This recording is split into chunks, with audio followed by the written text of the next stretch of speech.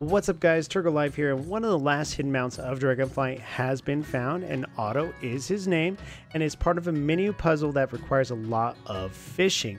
Now Wowhead does have a guide up here on their website, and it was found by the secret finding community. They're always working on finding the secret mounts, um, but for the first step you would need to get the Aquatic Shades, which is a guaranteed drop from the Immaculate Sack of Sweet treasures.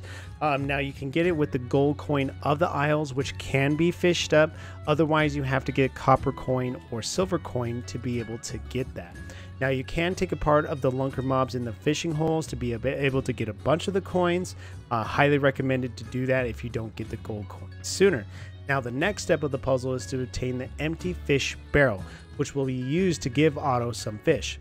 Now with the aquatic shades in hand, head to the bubble bath exactly where I'm, I'm dancing here and you have to dance on this pad. You will get a five minute debuff uh, that shows that dance dance till you're dead. Get down and dirty on the dance floor. Now once the de debuff expires, you'll pass out and wake up in the hissing grotto in the waking shores. And then you'll be able to interact with the empty fish barrel. From there, what you need to do is you have to fish a bunch here.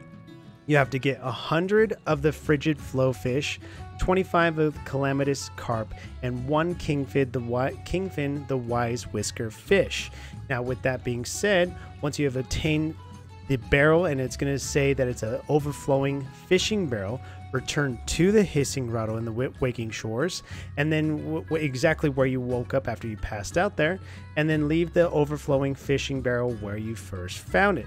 Once you find once you find it, Otto will show up and give you a quick quest to obtain the mount. Otto is a ground and aquatic mount, so there is a nice, awesome Easter egg. Um, if you put on the aquatic shades, he will also wear some shades to match you, which was really cool. So, with that being said, that is the short guide. That's exactly how you obtain the new secret mount. Um, good luck in your fishing, and I hope that this does help you. Make sure you work on getting it. It looks like it's a little bit of a grind. I hope you are able to hit that subscribe button. Hope that this helps. You guys, take care.